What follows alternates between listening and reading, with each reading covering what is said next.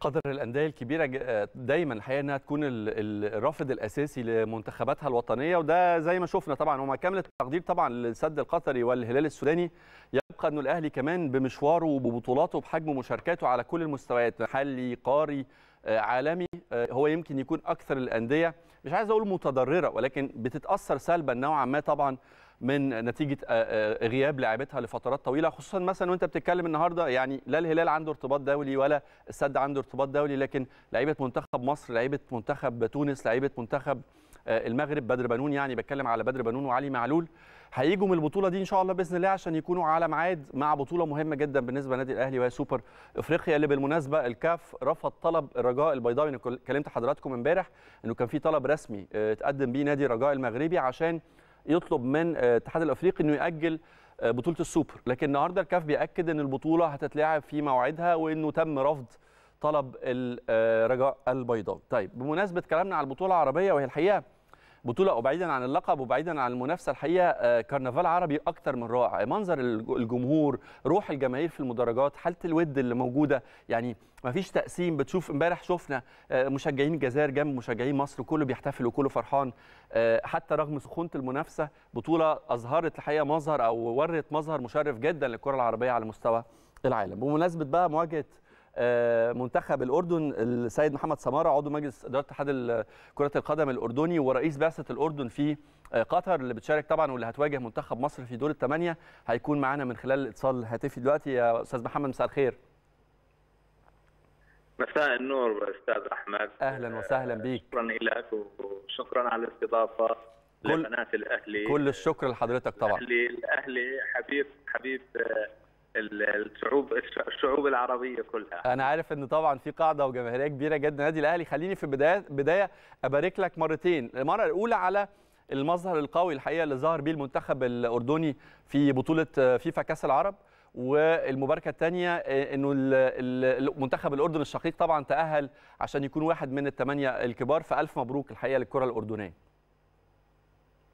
الله يبارك بعمرك سيدنا ومشكور على المباركة وكمان بنبارك للمنتخب المصري على التأهل والأداء القوي اللي ظهر عليه في البطولة. الله يبارك في حضرتك. طيب بداية قبل ما أدخل في التفاصيل خليني أسألك تمنيتوها مواجهة أردنية مصرية ولا مواجهة أردنية جزائرية؟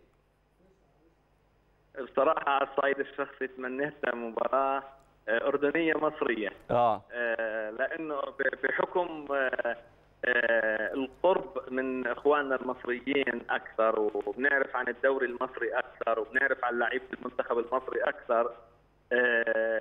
فيعني تقريبا المنتخب الجزائري يعني يعني مجهول أكثر إنه فمش يعني بالعكس المنتخب المصري وظهر بالمباراة مع الجزائر أقوى من الجزائر. ولكن اللي بتعرفه بتحب تلعب معه أكثر و وحتى يعني فائدة فنية للشباب الموجودين لأنه مثل ما أكيد بتعرف منتخبنا اليوم بعد عودة الكابتن عدنان حمد بعد ست سنين بيحاول رجعته للمنتخب الأردني بيحاول يرجع يرجع ويعمل توليفة جديدة اليوم بين الخبرة والشباب. صح في نقص كثير من اللاعبين اليوم بالمنتخب الموجودين ولكن قاعد بيحاول الكابتن عدنان حمد يجمع بين الخبرة والشباب. ومثل ما بتعرف حتى فريق منتخبنا بيعاني الآن حتى بالبطولة من 23 لاعب اليوم عندنا خمس ست غيابات يعني الخيارات بين 16 و17 لاعب م. فإحنا لا بالعكس يعني كنا أنا يعني على الصعيد الشخصي بحكي لك كنت حابب نلعب مع مصر وحتى يعني لما تلعب مع منتخب مصر في يعني سمعة كبيرة للمنتخب الأردني وسمعة كبيرة للاعبين انه بيلعبوا مع النجوم المنتخب المصري والدوري المصري والاهتمام الإعلامي الكبير من قبل إخواننا المصريين اللي قاعدين هون كمان بيشكلوا يعني بالمباريات اشياء رائعة من الجماهير ومن الإعلاميين فإحنا حتى تسليط الأضواء بين المنتخب المصري والمنتخب الأردني الآن يعني في تسليط أضواء كبيرة جدا بالبطولة. خليني أكلمك على البطولة ككل إزاي شفتوها في الأردن وإزاي أو إيه تقييمك ليها لغاية اللحظة؟ بالنسبة للبطولة بطولة لأول مرة بيكون بالمستوى العالي من حيث المنتخبات من حيث الأداء من المباريات القوية التنظيم الملاعب الموجوده الشغل اللي بيصير بقطر بصراحة.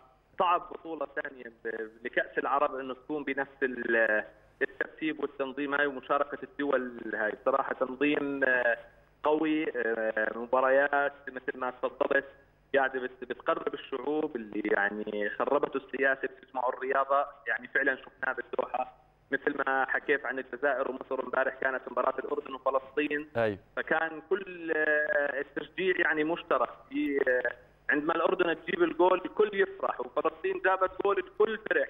فالحمد لله خرجنا يعني بكثير ميزات من هاي البطولة. إنه أصبح عندنا دولة عربية قادرة على تنظيم مستوى عالي ومن أفضل البطولات إن شاء الله راح تكون كأس العالم. قادره أكيد قطر وجاهزة وقربت الشعوب فأنا بتوقع في فوائد كبيرة كبيرة كبيرة صارت بهاي طبعا طبعا. مين ترشح سيد محمد المنتخب أو الثلاث منتخبات اللي شايفها عندها الفرص الأكبر في تحقيق لقب البطولة؟ والله مثل ما بتعرف كرة القدم لا تخضع للمنطق إذا بدنا نحكي بصراحة ظهر مستوى شمال أفريقيا. يعني الفرق أقوى من يعني فرق عرب آسيا. فبصراحة فرق الجزائر ومصر والمغرب قوية جدا وأيضا الفريق القطري قوي جدا. بس بتعرف اليوم هاي كلها عندما يعني تبدأ المباراة بتزول كل الأفضليات من يقدم بالملعب آخر شيء هو راح يفوز. صحيح. عندنا طموح المنتخب المصري قوي جدا. عندنا طموح في غيابات عندنا متعددة ولكن طبعا لقاء أشقاء الحقيقة نتمنى يظهر بأفضل صورة ممكنة زي ما شفنا في كل مباريات البطولة. تفاصيلنا في السادسة كتير وعندنا موضوعات كتير منها طبعا Champions League النهارده والكرة الإيطالية وبالتأكيد تغطية لمواجهات البطولة العربية. بس اسمحوا لنا نروح لفاصل ونرجع لحضراتكم مرة ثانية على شاشة الأهلي في السادسة.